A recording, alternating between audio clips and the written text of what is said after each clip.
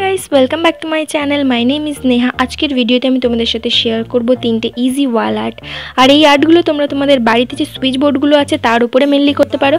আর এই আর্টগুলো করার জন্য আমি তোমাদের দুটো প্রসেস দেখাবো। তার মধ্যে যে প্রসেসটা তোমাদের ইজি মনে হবে, সেই প্রসেসটাই তোমরা ফলো করতে পারো। সো লেটস বিগেন তো আমি ফার্স্টেই ওয়ালে পেন্সিল দিয়ে ড্র করছি, কেননা সরাসরি আমি ফার্স্টেই রং অ্যাপ্লাই করব না। সো আমার সাজেশন থাকবে তোমরাও ফার্স্টে ড্রয়িংটা করে নাও অ্যান্ড দেন কালার অ্যাপ্লাই করো। আর আমি এখানে ইউজ করছি fabric black colour acrylic paint যেটাকে বলে।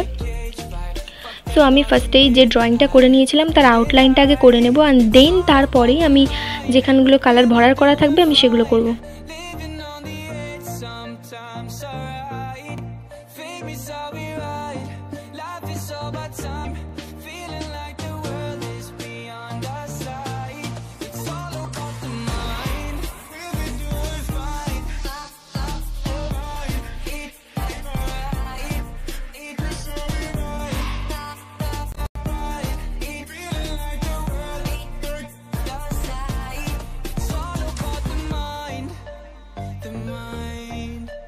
এই ড্রয়িংটা তোমরা তোমাদের বাড়ির কিচেনে যে সুইচ বোর্ডটা আছে, সেখানেই তোমরা করতে পারো। আর ট্রাস্ট মি এটা জাস্ট কিচেনের জন্য একদম পারফেক্ট ড্রয়িং আর আমিও আমাদের কিচেনের মধ্যেই যে সুইচ বোর্ডটা আছে, সেখানেই আমি ড্র করছি।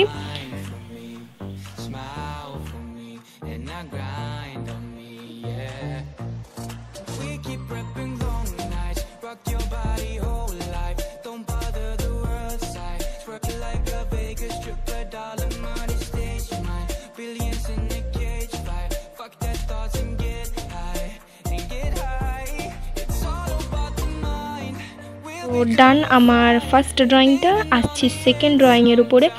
তো আগেরটার মতো এটাও আমি পেন্সিল দিয়ে আগে ড্র করে রেখেছি অ্যান্ড দেন আমি সেম প্রসেসে কালার অ্যাপ্লাই করব।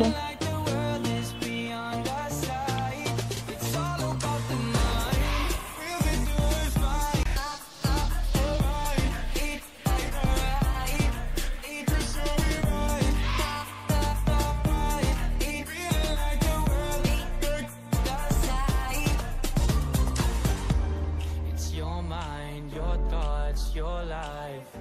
So don't you bother the worst night. We're all the same.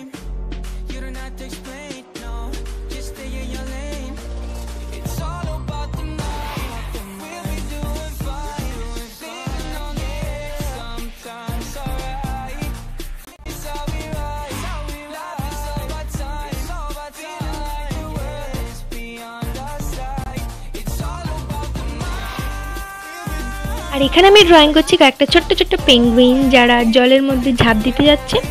আর এবার আমি ইউজ করছি অ্যাক্রেলিকের ব্রাউন কালার যেটা দিয়ে আমি ঠোঁটটা করছি। ঠোঁট আর পা দুটোই ব্রাউন কালারটা দিয়েই করব।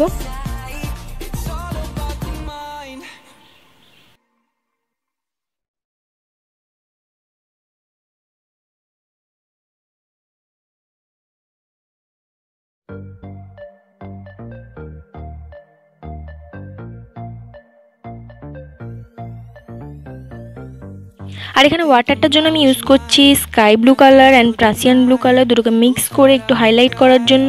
প্রাসিয়ান ব্লুটা আমি সাইডে জাস্ট দিয়েছি।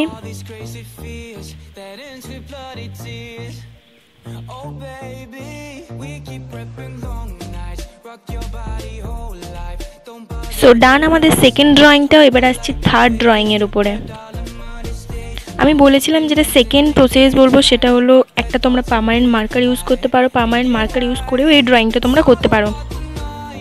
আই থিঙ্ক যারা রং তুলিতে কমফর্টেবল নয়, তারা এই পার্মানেন্ট মার্কারটা ইউজ করতে পারে। আমার মনে হয় রং তুলির থেকে অনেকটা পেনে সবাই কমফর্টেবল হবে। সো সেম প্রসেসে আমি প্রথমে আউটলাইন করব and then gap fill up করব।